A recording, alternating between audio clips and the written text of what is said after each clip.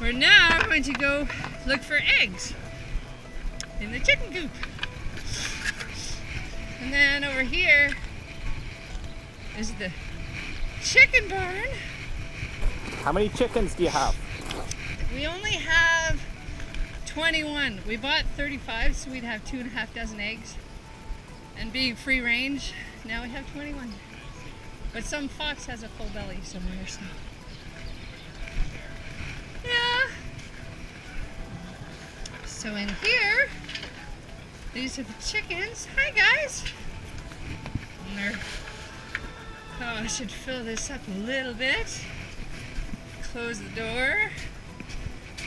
Lots of times we find other birds in here because they fly in, I don't know how, through that little hole and get stuck in there. This is our fancy scoop. Tell me a little bit about the kinds of chickens these are. Well, these are brown sex link, and there's one black one somewhere. Sorry, what kind are they? They're brown sex link.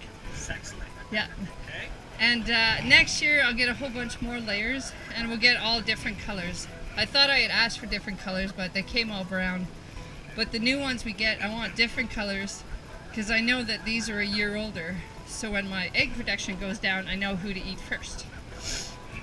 And this is their heat lamps. Do does each one have its own little uh, nook, and so you know that uh, this guy goes in this Oh, box? No. Okay, so you, you really they just go wherever they want and and they'll sometimes they'll find like eight eggs under one so there's one hen that just keeps hopping off so somebody can lay in there they're really smart when it gets cold they always lay in the same spot and they take shifts i guess sitting on it.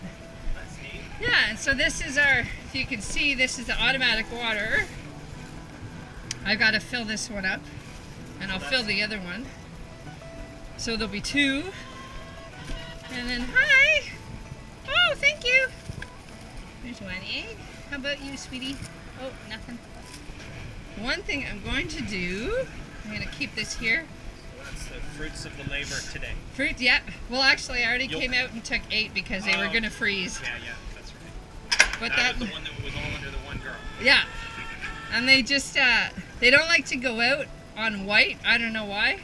So every day I have to come back here and grab a bunch of hay and sprinkle it outside and then I shoo them out. So I come into this back barn which we use for storage and I just grab a whole bunch of little bits of hay. In the spring when we get our turkeys and ducks, they they're in here until they get bigger because we get them as day olds.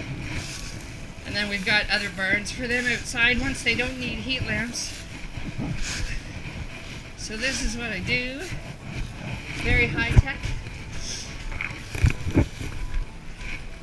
Sprinkle, especially around the opening. But lots of and then they'll come out and there's also lots of seeds in here that they can eat.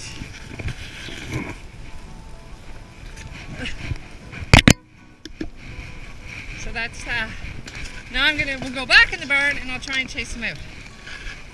Hopefully out you go. Come on. Shoo shoo shoo. Come on, out you go. Come on, out you go. Out you go. That's a girl. Come on. Out you go. Good. Once one goes out, they usually all go out.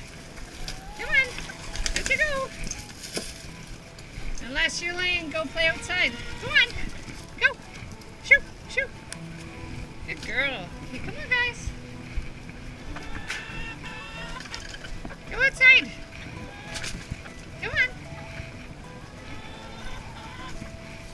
Ugh, I guess they don't want to come out. I was just gonna say, in the summer, everyone thinks free range is so wonderful, and it is. And I, if if you can, I believe in having chickens run. But in the summer, I have to come and climb up on all those bales because there's about half the chickens that lay eggs on those bales. And then the big hay barn I showed you outside, they lay in there as well. So I have to climb up So it's kind of like an Easter egg hunt. yeah, but it's it's not fun because like in there when you have three big bales together, not the small ones but the big ones, they're four feet high. When you have four on top of each other, I have to somehow get up to 16 feet. So it, it's an Easter egg hunt, but I, I'm not 20, so I'm not that acrobatic.